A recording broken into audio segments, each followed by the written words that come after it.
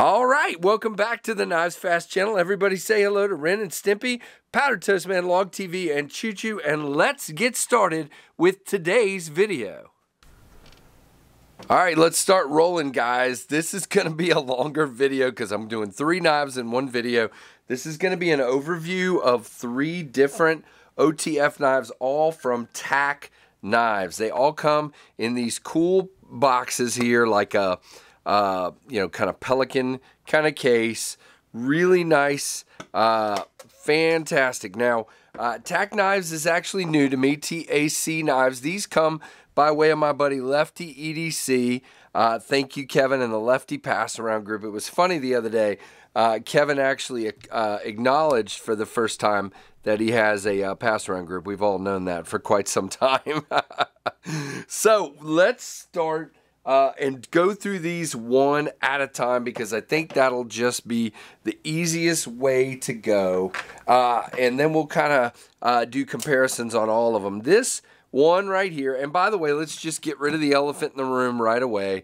Everybody's going to say, I don't like the carbon fiber, or in this case, I believe this is laminated carbon fiber over G10. Not sure, but that's sure what it looks like. Yes, I will start off by saying TAC knives, these are priced really well, but I mean, you got to be able to put micarta or G10 as an inlay or something uh, that, you know, and keep the price low that looks better than this fake carbon fiber. That's, that's all. Um, now, this one's got a black wash blade, uh, a crazy Wharncliffe. Now, all three of these have this awesome looking Wharncliffe, really techie looking, really modern. Uh, you got the black uh, aluminum and then you've got a silver slide here, and you've got a uh, loop over, excuse me, not a loop over, a uh, bent uh, steel clip uh, that is not loop over, so you end up with about that much sticking out of your pocket. Now, they've done kind of a uh, skull cracker slash, man, my lighting is really bugging me in this video. I'm sorry, guys. That's why I keep adjusting everything. You can reverse the clip, and they've got like what could be a glass breaker, but it's flat and kind of rounded, so it's more like a skull cracker than a uh, than a um, uh, a glass breaker, but it would work to break break glass.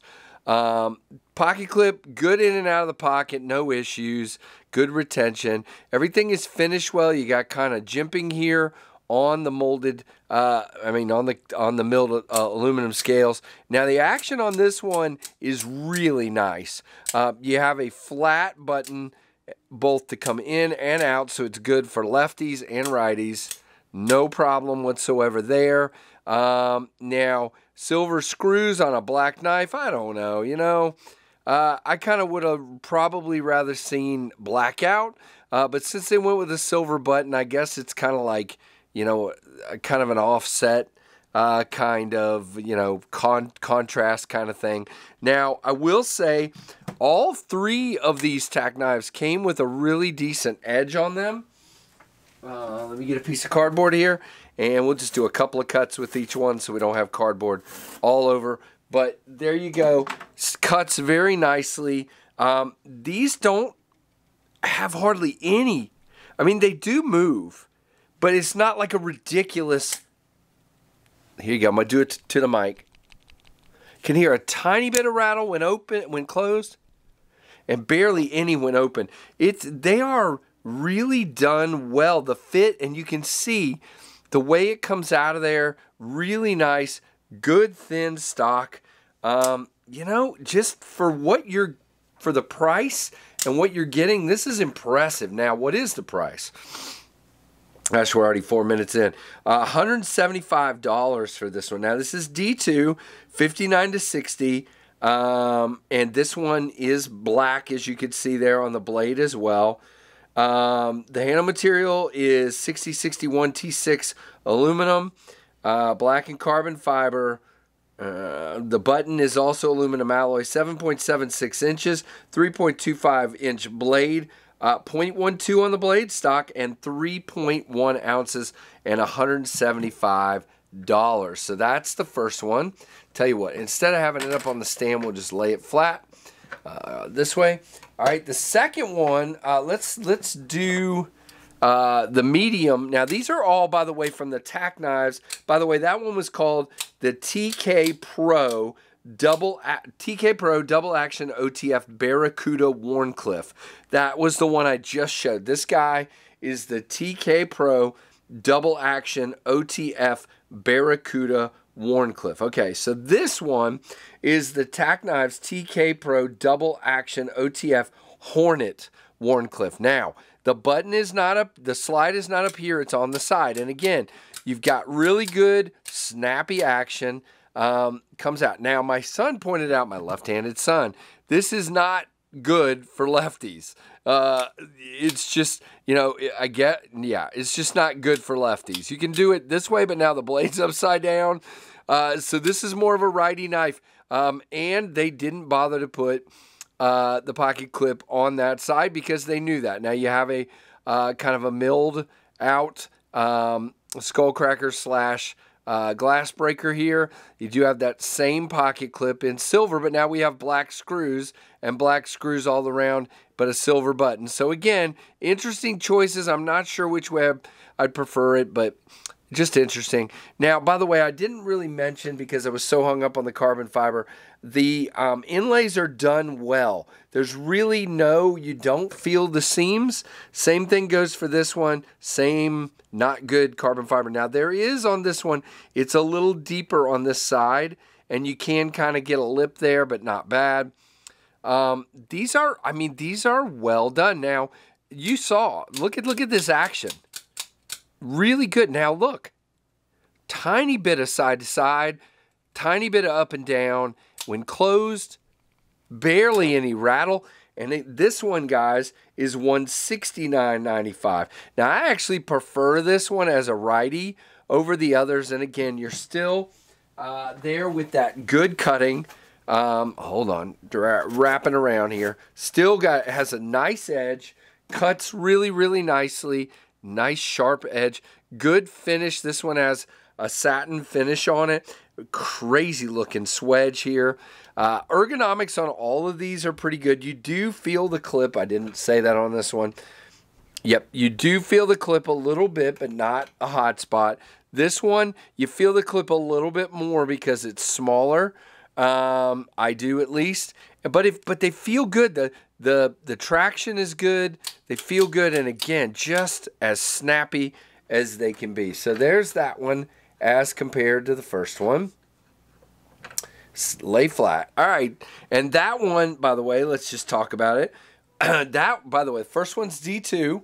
This one is 154, 59 to 60, same materials, aluminum alloy and um, carbon fiber, seven inches, uh, 2.75 inch blade, uh, 0.12 on the stock, and 2.9 ounces. Now, in the case of this one, it says that one is made by Bestech. Let me go back and see. Did the first one tell me who it was made by? I'm going to go look. Nope. First one does not say. Second one says Bestech. And guys, if that's Bestech, that is absolutely fantastic. All right. Well, well done by Bestech. Now we got this little mini guy here. Man, we are, I am, again, my lighting is causing me to have issues, and now we're struggling with focus.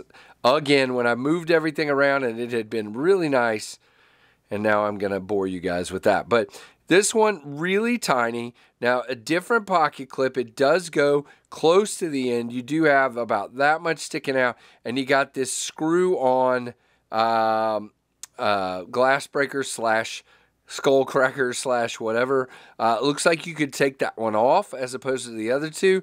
You have standoffs on your pocket clip. We'll talk about that in a minute. And it only goes on that side. Now, there is no carbon fiber on this guy.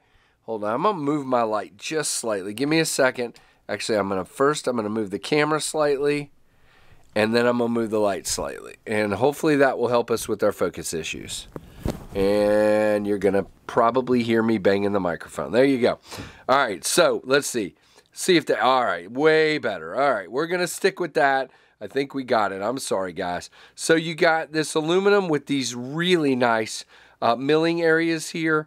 Um, and again, another Wharncliffe blade. And it looks just like that, that second one there. Same style of blade. They're all three the same. Uh, yeah, they're all three the same except that one's black coated. Uh, same satin on this one. And then right when I get excited, all right, TK logo there. 154 cm. By the way, I didn't talk about that no logo on this one and only 154 cm. TK logo on this one and uh, D2. So that's billboarding wise, they're pretty good. Now, this guy is tiny. I, I have a hard time getting a really good grip on this one.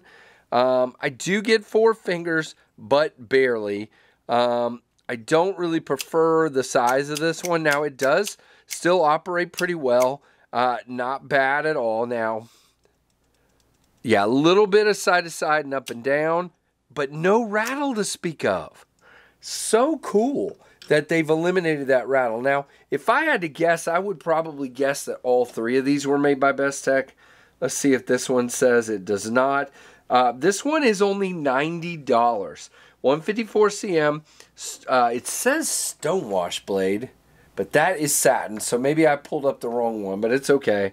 Uh, aircraft aluminum on the handle, stainless steel on the clip, uh, 5.63 inches overall, 3.23 on the handle, 2.4 inches on the blade.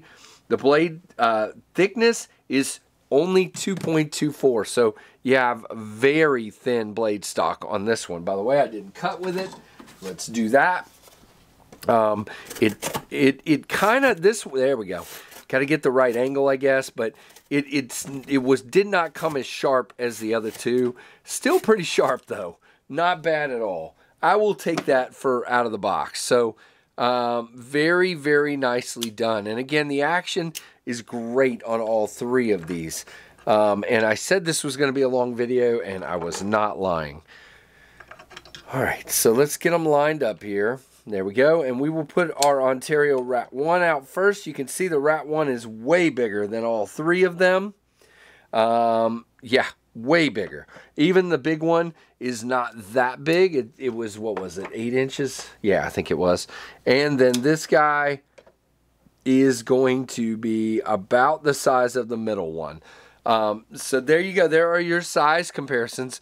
Um, again, it looks like all three of these are available at TAC Knives website. Again, uh, it looks like they have a lot of inventory of different types of knives on TAC Knives. I am not familiar with them, uh, but I think they're one to look for. So you guys should definitely, um, you know, keep your eye on TAC Knives. So really, really cool. And by the way, they have these in different blade shapes. Um, they, I see a Tanto, I see a drop point, and I see the Wharncliffe. I'm not sure what else there is, but uh, I bet you there are other options as well. So really, really cool, guys. I'll put links to all three of these uh, down below, and you can check them out. So there you go, TAC Knives OTFs. Thank Kevin. Thank you, TAC Knives, for sending them. Thank you, Lefty EDC, for letting me check them out.